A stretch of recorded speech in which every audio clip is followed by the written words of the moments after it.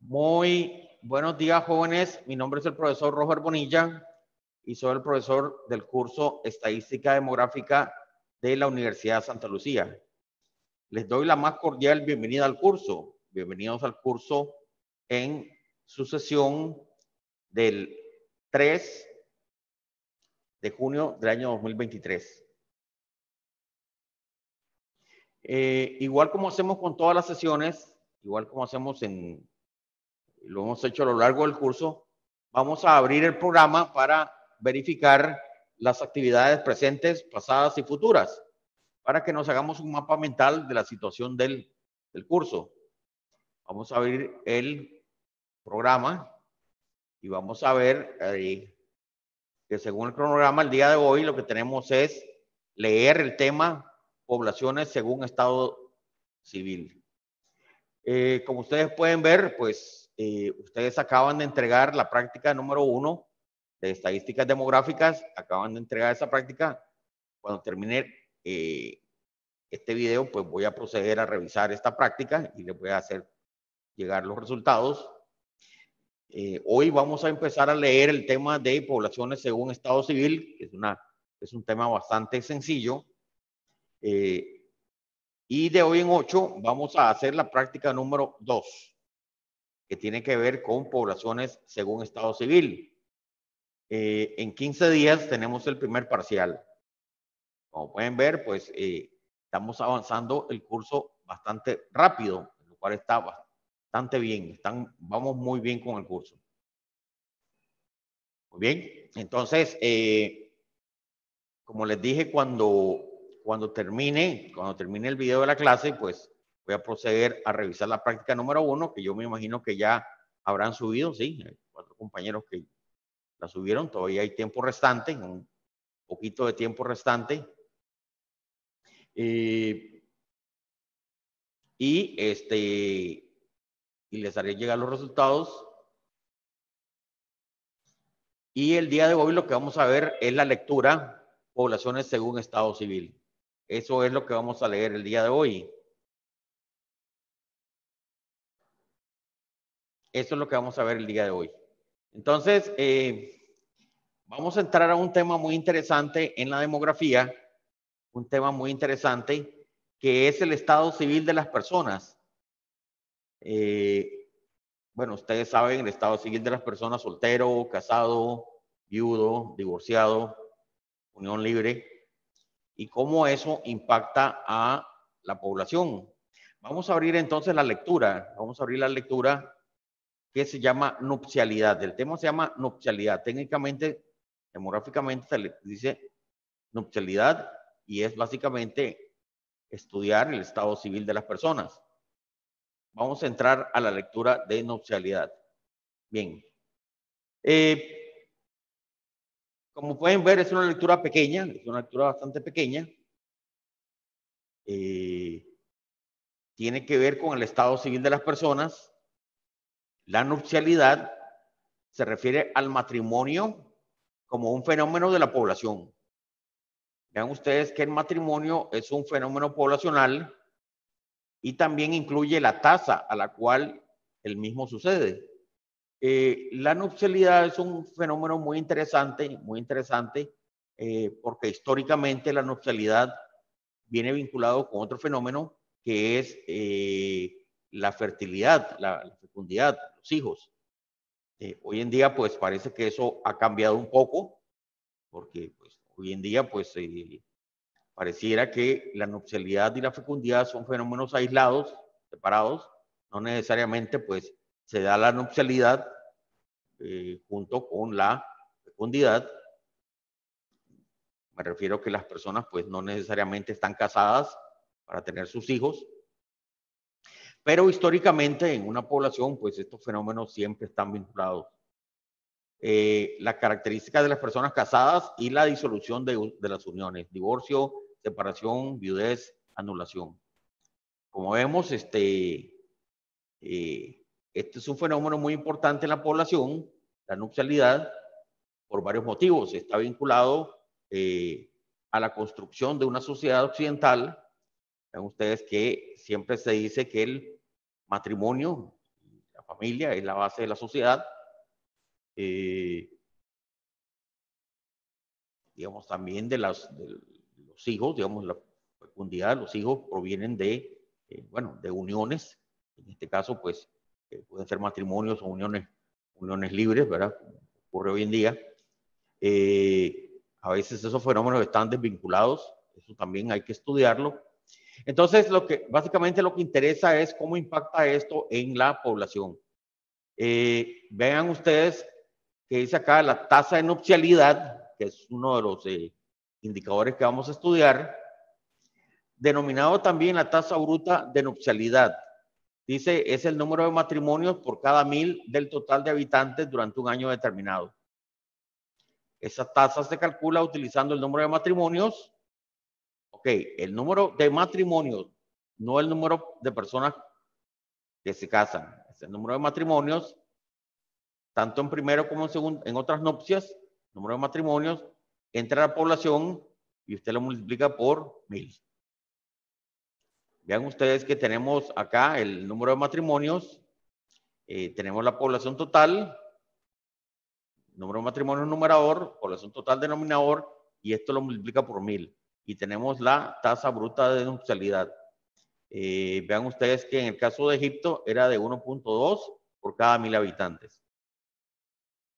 Eh, otro, otro elemento muy importante para estudiar la nupcialidad es la edad. La edad al primer matrimonio. Eh, en el pasado, la gente se casa muy se casaba muy joven en el pasado. Eh, hoy en día, pues, pareciera que eso está aumentando.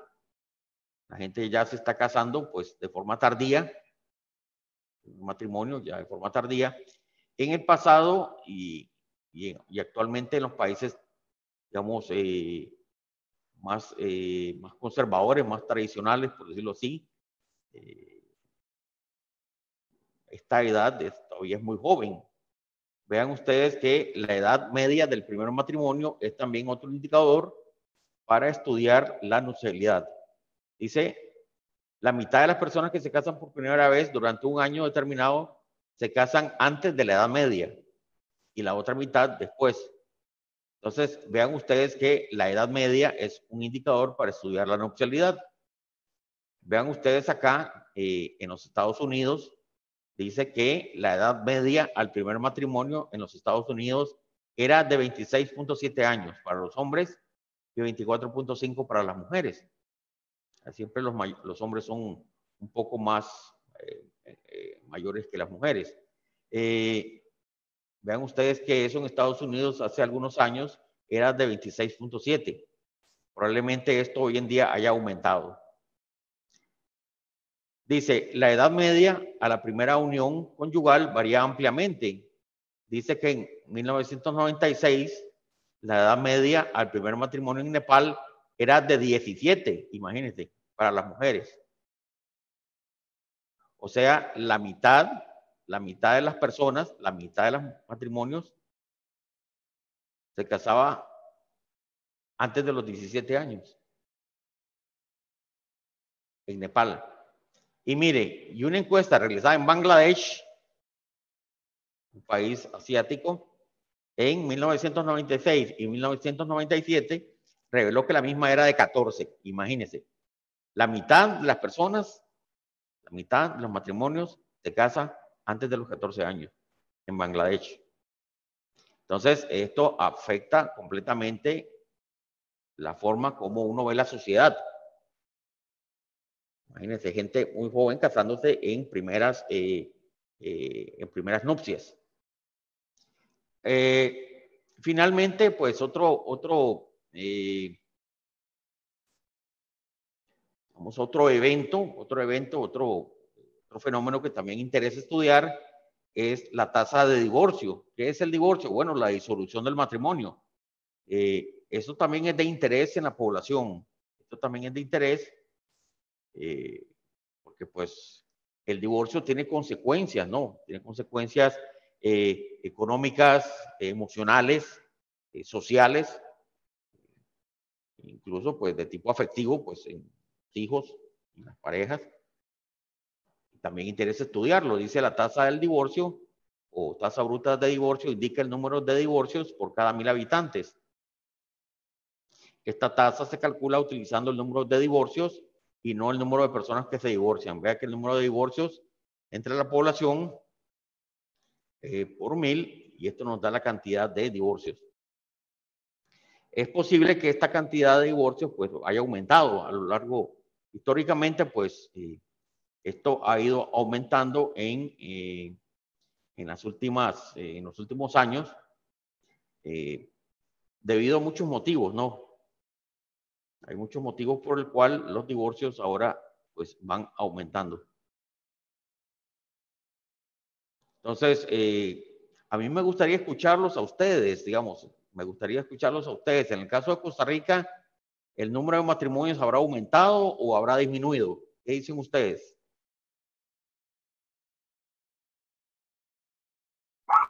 Yo digo que disminuido. No, no, no lo escuché. Eh, ¿Podría repetir? ¿Me escucha? Por favor. Sí, ahora sí.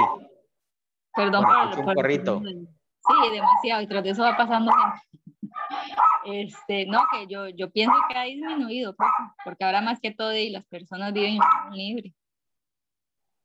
Ah, sí. Muy, bueno, eso es un tema muy interesante que comenta la compañera.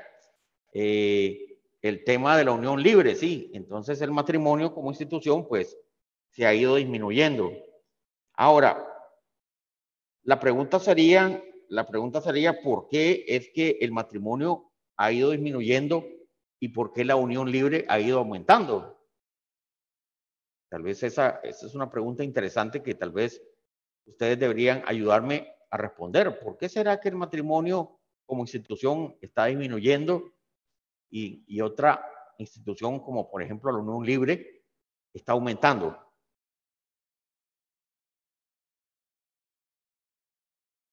Me gustaría escucharlos a ustedes, qué, piensan, qué, han reflexionado al respecto.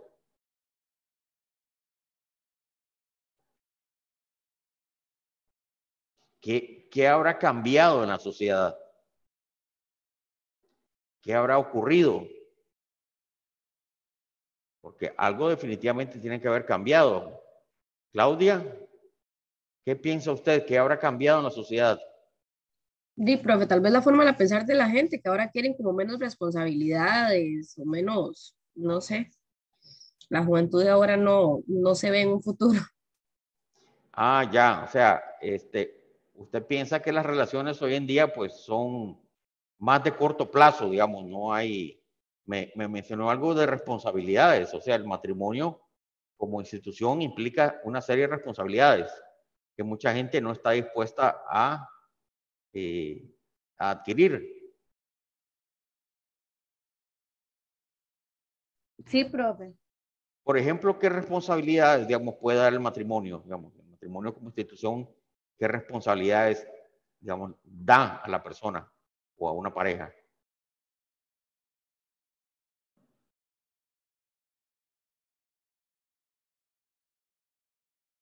Claudia. de profe, la fidelidad, el respeto. Y hasta ahora el, el hecho de que si usted está casado eh, y tiene algo, y la otra parte también va a ser para su esposo si se divorcia, ¿verdad? Sí. Eh, eso es muy importante, digamos, todo lo que es, eh, son los bienes compartidos, ¿verdad? Los, los bienes compartidos, empezando, empezando por los hijos, digamos, bueno, hijos no, son exactamente un bien, pero, pero sí son, eh, eh, son como, por ejemplo, eh, personas que se adquirieron en la relación de matrimonio, ¿no? Los hijos, las propiedades, por ejemplo, esto pues son, son cosas compartidas que se adquirieron, digamos, por el matrimonio. Entonces, muchas personas les da miedo esto, ¿no? Como que dicen, no, mira, este, eh, tal vez de adquirir bienes, ¿verdad? Y lo que usted decía, las cuestiones eh, afectivas, la, el respeto, la fidelidad, Eh, y eso pues pareciera que mucha gente no está dispuesta a esto, o sea, la gente piensa en una relación más a corto plazo. Esto, esto es todo un paradigma que hemos visto pues eh, en la sociedad en los últimos años, ¿ve? Esto se ha flexibilizado bastante, ¿ve? Ya el sentido del compromiso, el sentido de, eh, de los bienes compartidos, la responsabilidad que implica el matrimonio, pues son eh, cosas que se han flexibilizado en los últimos años y se ha dado pie al aumento de otra institución como es la Unión Libre. Pues, la Unión Libre es, eh, bueno, ustedes saben lo que es la Unión Libre, pues eh, la característica de la Unión Libre es que no hay responsabilidad, ¿no? Bueno, en general, en general no, ¿verdad? Pero las leyes ahora han cambiado también un poco. Parece que sí, en la Unión Libre se le da algunos derechos a las, a las personas, ¿verdad? Eh, pero la unión libre es básicamente lo tuyo es mío y, y lo mío es tuyo y, y estamos acá juntos y, y, si nos va bien, perfecto, y si no, pues también perfecto. Esto parece que es, se ha incrementado en los últimos años, ¿no? Este sentido de esta relación, esta institución de la unión libre, que se caracteriza casualmente por eso, ¿no? Por, eh, unión por libertad, ¿verdad? Unión, eh, los bienes individuales eh, que se comparten en la relación, pero lo tuyo es mío y lo mío es tuyo, ¿verdad?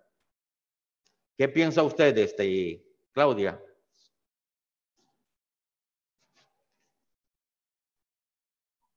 Sí, profe, en realidad ahora es así. Cada quien tiene sus cosas, ya no, ya, y ya digamos, ni siquiera porque viven juntos se ven como un, como un matrimonio. Es cada quien por su lado. Y cada quien tiene lo suyo. Sí, este, y también las leyes actuales, pues también han hecho, han debilitado la institución del matrimonio porque hoy en día también, digamos, las relaciones, eh, la unión libre ya ha adquirido ciertos derechos. Vean ustedes que ha adquirido ciertos derechos. Digamos, usted tiene ya años de vivir con su pareja. Después de tres años, ahora, profe, ni siquiera es un año, ya ahora después de tres años ya usted tiene el mismo derecho como si estuviera casado. Exactamente, entonces eso eh, lo que va haciendo es que va, va debilitando la, entonces la gente dice, bueno, ¿para qué, ¿para qué me voy a casar? Si ya a los tres años de estar en unión libre ya adquiero los derechos. Eh, un poco esto, ahora esta, esta mentalidad un poco eh, también, digamos, materialista también de la relación de, este instituto matrimonial. Pero bueno, como vemos, este, es, todo esto vamos a estudiarlo en el caso de Costa Rica. Profe, si no estoy mal, matrimonio. ya ni siquiera antes para usted poder asegurar a su pareja tenía que demostrar que tenía, creo que era después de cinco años. Y ya ahora, para Así usted es. asegurar a su pareja, yo creo que ya no, ya así tenga seis meses, ya usted la puede asegurar. Exactamente, vean ustedes que este, eh, el hecho de la, o sea, ya hay muchas, eh, ya hay muchos elementos del matrimonio que van permeando, que van permeando, digamos, la unión libre, muchos derechos propios del matrimonio, como es el seguro, eh, como es el, los bienes compartidos, todo eso va permeando ¿no? la, esta, esta institución de la unión libre. Entonces mucha gente dice, bueno, ¿para qué me voy a casar? ¿Para qué voy a hacer un vínculo matrimonial con todas las ventajas que esto tiene? Cuando yo puedo tener esos bienes después de tres o cuatro años de estar en unión libre, ¿ven? Entonces, eh, todo eso va, va disminuyendo, digamos, la importancia del matrimonio y se va incrementando, digamos, la institución de la unión libre. Eh, también eso va impactando el divorcio, ¿no? Digamos, el divorcio, ustedes pueden ver, vamos a estudiar el caso de Costa Rica, cómo ha ido aumentando, ha ido disminuyendo. ¿Qué piensa usted de este? Jorge, está por ahí. Jorge, ¿me escucha? Por ahí está Jorge. Aquí estoy. Eh, Jorge, ¿qué piensa usted de este, qué piensa usted del divorcio? ¿Habrá aumentado? ¿Habrá disminuido? ¿Cómo estará la situación del divorcio en Costa Rica? Eh, eh, hablando lo que estamos haciendo, eh, sería que ha disminuido al no haber tanto matrimonio. Uh -huh. Entonces, al no haber tanto matrimonio, me imagino que la tasa de divorcio también en este caso disminuye. Al haber sí. mucho, mucho matrimonio, entonces la, la tasa de divorcio va a aumentar. Ok, muy bien, bueno, muy buen punto. Sí, al no haber mucho matrimonio, pues tampoco va a haber divorcio. Eso es un buen punto, sí. Eh, también vamos a estudiar, vamos a estudiar el caso de Costa Rica, cómo el divorcio, pues, a ver si ha ido aumentando, se ha ido disminuyendo y las causas del, de que el divorcio, pues, se haya ido aumentando disminuyendo. Y todo esto tiene que ver con lo que hemos estado hablando, ¿no? Lo que es la fidelidad, lo que es la responsabilidad, lo que son los hijos, los bienes compartidos, las relaciones de pareja, que son bastante complejas. Eh, y cómo esto, pues, a lo, a lo, largo del tiempo, pues, va impactando la estructura de una sociedad. Muy bien, entonces, la lectura de hoy, el trabajo de hoy, perdón, es eh, que hagan esta lectura, que repasen de nuevo esta lectura, eh, y de hoy en ocho, pues, vamos a realizar la práctica, la práctica correspondiente para estudiar el caso de la nupcialidad en Costa Rica. Entonces, eh, hagan un repaso nuevamente de esta lectura y de hoy en ocho nos reunimos para resolver el caso de la eh, nupcialidad en Costa Rica. Bueno, muy bien, la clase de hoy era bastante corta. Eh, leer este, este tema de la nupcialidad, reflexionenlo, piénsenlo. Eh, sobre todo vean cómo se calculan los indicadores de la nupcialidad, el, específicamente la tasa de nupcialidad y la tasa de divorcio. Y de hoy en ocho, pues vamos a ver el caso de Costa Rica. Van a ver ustedes que, de hecho, ah, ahí, ahí van a ver el caso, en la práctica del caso de Costa Rica. Si quieren ir adelantando, pueden ir viendo el caso de Costa Rica. Ahí van a ver, eh, vamos a ver, ahí en la práctica, si quieren adelantar, si quieren adelantar, vamos, a ver el caso de Costa Rica. En el caso de Costa Rica, lo que vamos a hacer es que vamos a tomar varios años. Ahí está. Entonces tenemos varios años. A ver, ¿cómo se hace más grande esto? No se quiere hacer más grande. A ver, vista. Eh, no, lectura, creo que es así. No, eso no es así que no se hace más grande aquí.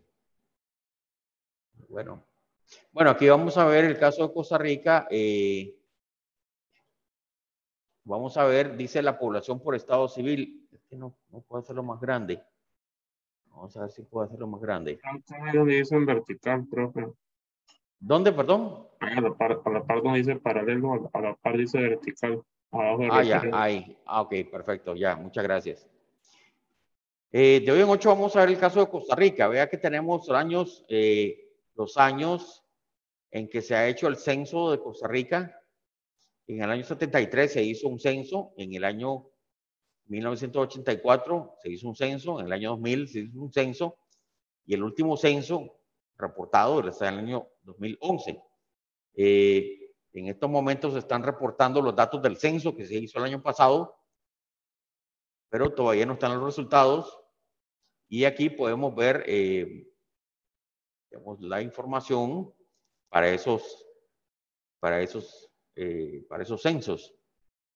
Eh, aquí tenemos acá, ¿verdad? La cantidad de solteros, casados, viudos, divorciados y no libres, separados y otros. Entonces, de hoy en ocho vamos a calcular esos indicadores. aproximar la tasa de nupcialidad, realizar el cálculo utilizando el número de personas casadas y se comente la tasa de nupcialidad ha aumentado o ha disminuido.